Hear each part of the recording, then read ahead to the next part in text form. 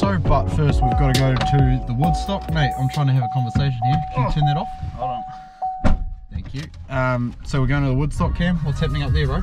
Uh, we're gonna go do a little bit of maintenance on the Woodstock camera, press some buttons, get the, make sure it's all running good, and then we'll um, be on our way to Rakaia. That's gonna be a good day. 21 degrees already, so it's gonna be shorts on the boat, I think. Sun's out, guns out. See you at Woodstock.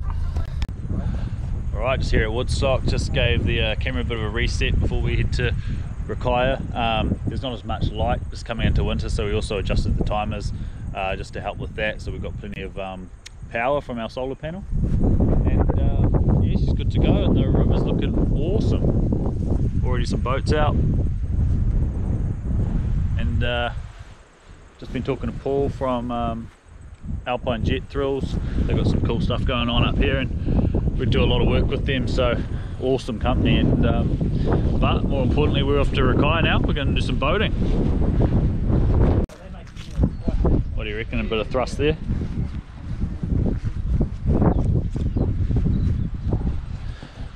Another um, pretty cool thing up here at Alpine Jet is um, Jet Boat World. They've um, made a bit of a museum here. They've got some really cool boats in here, and it's actually their headquarters um, when you come up here and do a tour. So it's real cool. Some awesome boats here, some real old stuff, and uh, this is something pretty cool. Gale Banks twin turbo. This is what they used to run back in the day. You actually got um, the carburetor system set up, I'm pretty sure, so that the fuel ran through the turbocharger.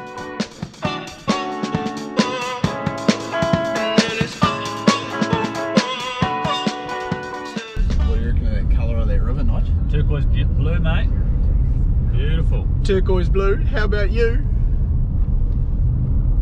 It is looking quite good, isn't it? Looking like good flow. It's going to be good for boating.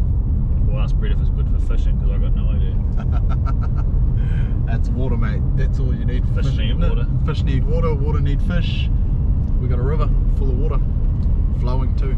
Looks like no wind as well, actually, or a lack thereof, which will uh, be quite good. Five bucks says Brett is late. Well, we're late and he'll be late later than us. Yeah, yeah, but five bucks he says he's like double late. Late. Yeah. Alright, Take the bet. Sweet. Wait, how good was that caravan though? Um, you know, the one that Oh. was drowning in the. The old mate wanted a waterfront view. A few weeks ago, someone in the truck like towed their caravan down onto the river, and then the river came up overnight, and there was caravan underwater and shit. We got it on the camera. Um, have a look at this. I'll put it there. There it is. Um, and yeah, it was it was quite. It got a lot of people talking about what sort of idiot are you. So if anyone actually, if anyone knows who that person was, like, can you get in touch? I want to talk to the guy and like find out what the story is, or the girl. It might be a girl. I don't know. Looking dangerous. Managing director's just arrived, Brett. Which means we can get on the river. He's got some pretty serious gear. Oh, he's promising a 20 pound salmon. So I'll take him to the right spot and he's got to do the rest really. So we'll see what happens. But river's in good nick. A couple other people out in the river. We'll stay away. But um, let's see what we get done.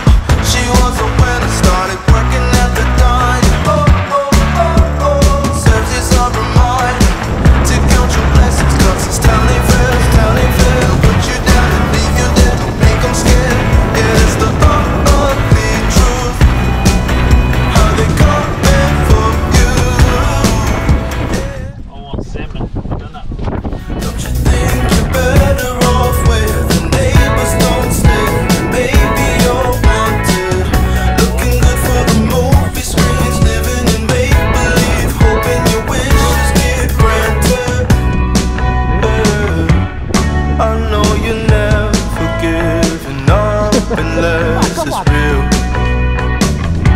A slippery slope, it's not enough to please you. Having a good time down there, Nige? I'm liking fishing, I think it's quite a good sport. Relaxing. As long as Brett gets us a fish for dinner. Run us through a bit of your technique here, boss. Yeah, it's what we're doing. I mean, the river's a bit lower. I sort of fish this hole quite a bit, and you generally when you find a good salmon hole and you're seeing salmon in it, you're best to keep coming back. Um, you know, of course, the you can lose a bit of water pretty quickly from every time the river floods, but this one here seems to be holding, which is good. But um, yes, at the moment there's probably less water coming in, sort of, so not not really pushing the fish as high up as what I've been fishing. I'm sort of fishing more towards the end at the moment. Um, yeah, just quite a sort of slack hole. So some big rocks in here, and it's easy to lose a bit of gear. So got to keep going through it and pick one up. So I'm using a um, eight foot six salmon rod. Um, yeah, just got the of overhang. Oh! Sort of ambassador type reel. Um, pretty typical sort of salmon setup. And uh, still using like a mono line. I mean, a lot of guys are using braid nowadays and sort of using less um, lighter gear.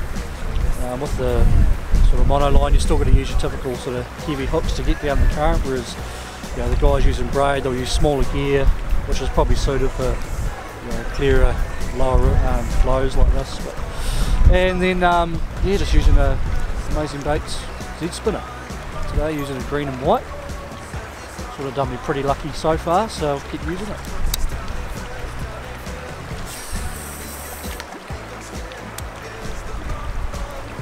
And so yeah, what we're doing with salmon fishing is you're you're basically fishing blind. Like I mean, with trout, you're sort of walking up the river trying to target a trout by seeing them, whereas salmon are sort of um, migrating fish. They'll come into this hole for a bit of a rest after swimming up some hard water. Um, then they'll just move on. They've had a bit of a rest, to head upstream again. Salmon don't um, feed in fresh water. They compared to trout, which they'll actually sort of chase after your hooks. Um, so you're trying to get on the bottom where the salmon are sitting and just get this hook sort of flashing in front of them. Basically just trying to get them to bite it out of anger, um, just by seeing the, seeing the gear. Um, yeah, when they enter fresh water they're pretty much their throats close up, they stop eating and generally by the time they get up to the spawning waters they've lost quite a bit of condition. Go like a darker colour. So yeah, you know, with salmon fishing, you could fish a beautiful bit of water. Um, just keep casting and hoping, you know, there might not be any fish in there. You just don't know. If you've got a nice pool where you're seeing fish porpoise, that's a good sign. You're into a uh, good snag.